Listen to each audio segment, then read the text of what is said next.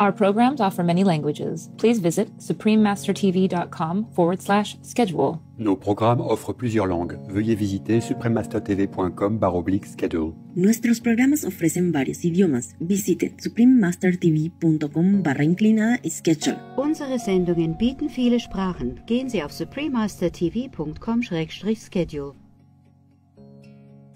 I'm happy that I'm blessed to be able to remind some people to live a virtuous life and to save lives apart from their own, to save them from suffering from hell and retribution in this lifetime, and save some animals' lives, yeah, save maybe the planet, yes. I'm happy, of course, it's a different happiness, uh, it's a bigger happiness. Please keep watching to find out more. Supreme artistic expressions such as the musical instrument steel pan. The lovely soca and calypso musical styles also originated in these islands, as did the dance known as the limbo. Trinidadian dance pioneer Julia Edwards became known as the First Lady of Limbo while today's limbo queen, Shamika Campbell, has set three Guinness World Records for the dance. The many creative accomplishments of Trinidad and Tobago are celebrated each year through its lively carnival, featuring spectacular costumes, music and dance competitions, exuberance, and the joy of life are keynotes of this inclusive festival. Other artistic and spiritual contributions come from the island's Indian heritage. One is Tassa, a percussion ensemble that reflects North Indian drumming traditions. Celebrations include Phagua, a buoyant spring event, and Diwali, the beautiful Festival of Lights. It was a pleasure to share a glimpse of paradise like Trinidad and Tobago with you, spirited viewers. We wish you an abundance of love and blessings from the divine.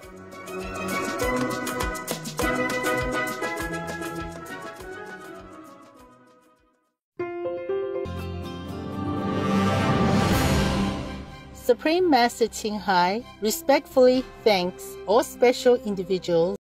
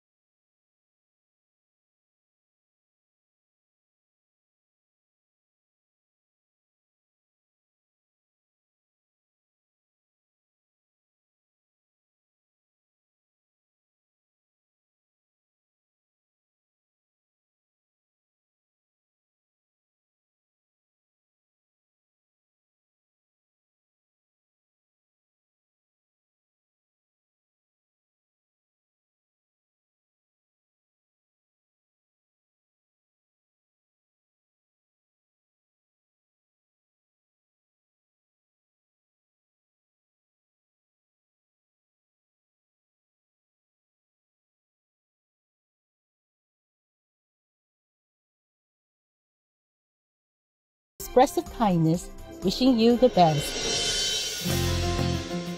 A true voice for beautiful animal friends.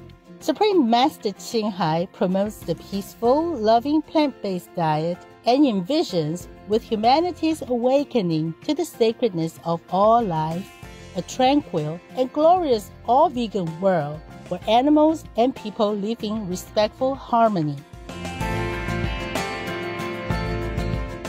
Her initiatives included alternative living flyer distribution, the international vegan restaurant Loving Hut, vegan food companies, vegan fur products, Supreme Master Television, as well as writing and speaking to influential government and media leaders, participating in televised conferences on climate change, etc.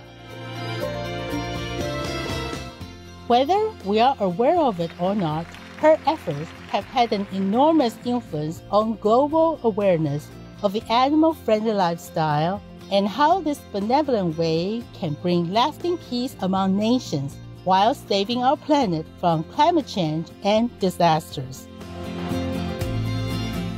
Supreme Master Ching Hai has traveled worldwide and held discourses with the public and her disciples on a variety of spiritual topics.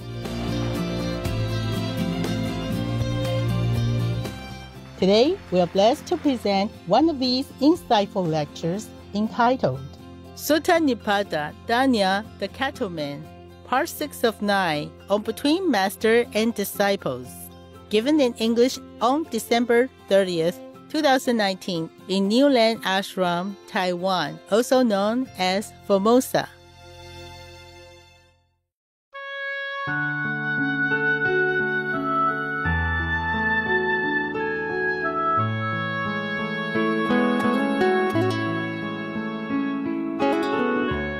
The Buddha I am in no one's employ. He has no boss. Yeah? I wonder the whole world, like the monks, yeah? yeah. on the reward of my awakening. No need for earnings is to be found. So if you want rain God, go ahead and rain. rain. You know everything, right? What for do I keep saying anything? you see, one relies on every material thing that he can earn and keep to make him feel safe and proud and, you know, secure. One relies on nothing, absolutely nothing. He didn't even earn any money. He has no boss. He has complete freedom. Yeah. So he wandered around anywhere he wanted to. And he earned the reward his upkeep uh, by his awakening. Yes. And no need for earnings is to be found. No need to ask him how much he earns a month. no need for paying taxes or anything. Truly, this is really a beautiful life. When I wasn't a master yet, I had very little money from my working before, you know. Not many years, but in Germany, in Europe, you can take out your pension in advance. And I even took that and offered it to some masters, yeah, or any ashram where I stay. And at one time I had almost nothing. but you don't feel this heavy burden, you know, you don't worry about the tax payments, you don't worry about if your uh, building here or your ashram is legal or not. You don't need to worry about paying for employees or buying this and that, nothing. At that time, I was happier than now. Oh, of course, I'm happy now in different in different ways. You know, I'm happy that I'm blessed to be able to remind some people to live a virtuous life and to save lives apart from their own, to save them from suffering from hell and retribution in this lifetime and save some animals' lives, yeah, save maybe the planet, yes. I'm happy, of course, it's a different happiness. It's a bigger happiness, yeah, it's more satisfactory. But at that time, for the worldly situation, I was my best. That's all I wanted to do. Eh, not to worry about anything, not to have a house to even to pay a mortgage on or to uh, pay tax for my motorcycle, whether or not I pay tax on time or not. You know, when you have something, you always worry about the things that run after you. The tax, time, you know, the business, all kind of things. If you have a house and you have to worry about it, if it's leak, and then you have to keep cleaning it, you know. So truly, if I could have stayed in India, continue the life of a so-called disciple, or gone from one ashram to another, or just wander around with very little possession. I had little. I have only two pairs of bijama, Punjab, and a, and a stick, wooden stick that I found in the forest. I truly understand what the Buddha was saying, you know. The life of no burden, no regrets, no connection with anything but connected to everyone. Feel so light, so beautiful, so beautiful, so free. I had less than what I have now, very, very much less. As I have told you already, I could eat some chapati. I baked myself with the wood I found in the forest dry wood, and just uh, some water, you know, and then boil the water and, and drink.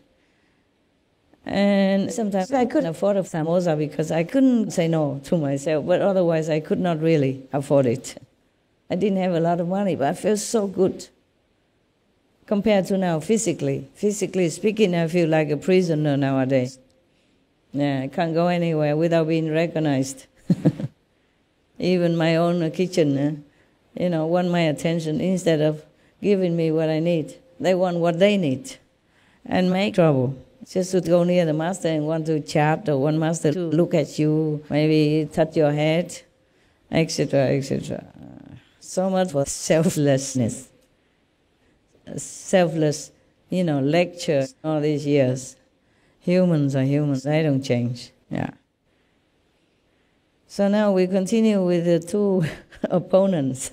you can see the opposite, huh? You can see the opposite kind of life. Which life do you prefer? Tell me honestly. The life of a Buddha, wandering monk, or the life of the cowherd? Life of the Buddha? Really? Wow tough. Really? How many of you want to be like a monk, the Buddha's life? Raise hand.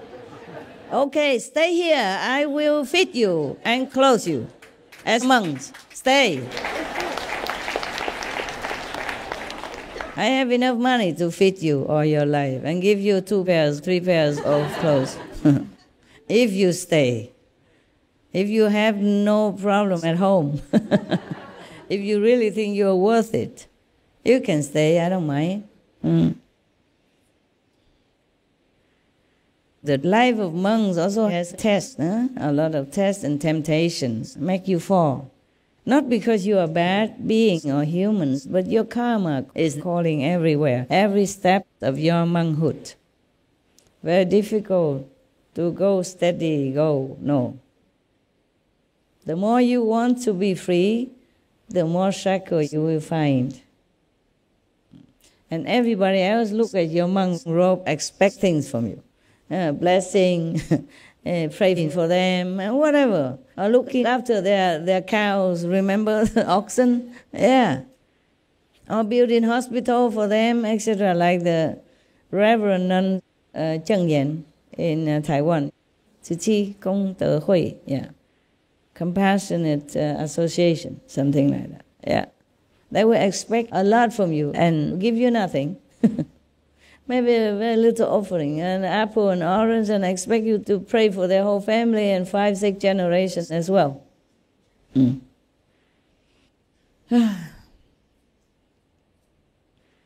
they will not just uh, uh, be with you, uh, respect you, but they expect things from you. That's what makes many monks and nuns' lives difficult. because they cannot fulfill uh, the, the expectations of other people who, who do nothing, just one thing from you. When I was uh, invited to be an abbess in a small temple newly built in Germany, oh my God, I wish I had never accepted that invitation. Whew. They kept calling me all the time to the temple, and especially one woman. She was telling me hours on end about how her husband was unfaithful to her, blah, blah, in detail and everything. And I said, Oh, okay, okay, that's enough. I heard about that already. Could you please let me go? I have to go do so. You are not a monk. You have no compassion. You have to listen to me. You must uh, make me feel comforted. How can you not listen to me? I am suffering and you don't want to listen to my pain. You are no monk. You have no mercy in your heart. Blah, blah, blah. She scolded me a lot. Yeah, but after two hours already, same stuff. She keeps telling me how bad her husband is and how, how faithful she is, how much she's in love with him and he's not. So I said, You're a Buddhist. You should know sometimes karma break you up or bring you together. And when the karma is finished, then there's nothing much you can do. You should accept it, move on, maybe find another husband who is more suitable for you. No. Continue her old story all the time. Every day she talked no end. And if I wanted to stop, she scolded me that I was no nun, that I had no love in my heart. Hey, she don't care that I have to take care of other people who come to the temple. She doesn't care that I have to do liturgy, a morning, evening service in front of the Buddha. She didn't care, you know. I had to listen to her no matter what time, midnight, uh, two, three in the morning, Sunday, rainy day. Oh man. If any nun met this kind of lay disciple, I think she'd run away from the temple. Even if she continued to be a nun, she would hide herself somewhere. You know, no, nobody could find her. Only monkeys or rabbits, you know, they have no problem with you. Yeah. Truly, when I live in uh, Himalaya, some part of Himalaya, many monkeys around. And if I had some peanuts, I gave it to them. But they never quarrel with me. They never criticize me that I had no love, that I gave them only peanuts and nothing else. no, very grateful and friendly. but if you are with another human, just one even, you will have trouble. She will make trouble for you, she will give you trouble. She will give you many pieces of her mind. So no matter if these pieces are good or not, she will make trouble. Yeah, I was in that temple in New York. I told you, huh? And there was one of the other nuns who came, and I told you about already. She disrupted herself, just very normal, didn't want to be nun anymore, and came to my temple, stay there. And uh, she always wanted to talk about anything. She was very talkative compared to me, you know. And I say, no, please go and bow to the Buddha or meditate. Uh, you know how to meditate. Yes. I have to go now meditate even if I went on retreat, she's like a lot of love letters under my, my door, uh, complaining about anything. The whole story, always, every day. So as long as the master abbot was not in the temple, I shut myself in my room, did retreat. She, she still could talk through the letter, you know. she wrote letter and slide them under the door for me every day. I can't remember what she was talking about. Yeah, this is a problem. Just one more extra ex nun, and, and your life is different already. I don't know why she had to talk a lot like that. Contrary to me, before I took over this uh, job, I didn't talk a lot. I wrote things, you know, I read books, but I didn't talk. I didn't want to talk to anyone. And talking to them a little bit only make me feel very tired, contrary to now. okay, we continue, huh? Mm. Do you have a bus to catch? If you have to go, you go. Or don't make trouble. Your visa, your family, your debt, okay, your work, that's what makes you go. Nothing else, okay? Not me. Mm.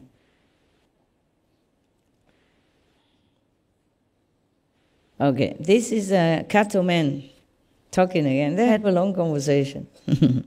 Maybe they met each other and then talked, okay, and somebody recorded it. So the cattlemen, there are cows, young bulls, cows in calf, uh, and breeding cows. Mm. And a great bull, the leader of the herd. So if you want to rain, rain God, go ahead and rain. I mean, he has so many possessions. Animals were people's security in the old times. Yeah, if they had a lot of animals, it means they're well off and they're secure because the animals breed more siblings, you know, uh, younglings, and then they would get more and more rich and they could sell them, milk them, or do whatever, you know, showing off. And before, in the old times, when you wanted to marry a girl, you, instead of, uh, you know, uh, SM Celestial jewelry, you give them cows, pigs as a dowry. You know? Yes. Yeah. Yes or no? Yes. Uh, in Vietnam, it was like that. Also, some jewelry, if you could afford it. If not, how many cows they would demand. And a mattress to sleep on. Yeah? And some new clothes, maybe. But cows, pigs, golds, that was the foremost demand for my daughter. Imagine that. You exchange your precious, living, human, beautiful being for some cows and feel very happy. Uh, lucky nowadays we exchange daughters for cars, yeah, for some gold. similar. It's like business. Huh? So don't do business in your life, in the life of your children, okay? Ah, yeah, of course, nowadays your money talks, you know, you have to have it in order to feel safe, huh? so if you want a daughter of somebody, the father immediately asks, How much do you earn? How much can you give? How much do you have every month so that you can take care of yourself and my daughter?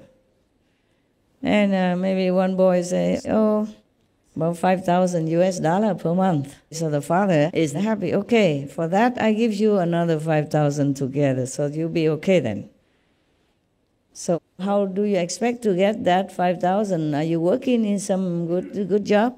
No, that is from your daughter's pocket. from her monthly allowance. yeah, yeah. 5,000 because the daughter of the rich family, you know, she has her monthly allowance, and that's okay for him already. the father of the bride thought that he was working to earn that.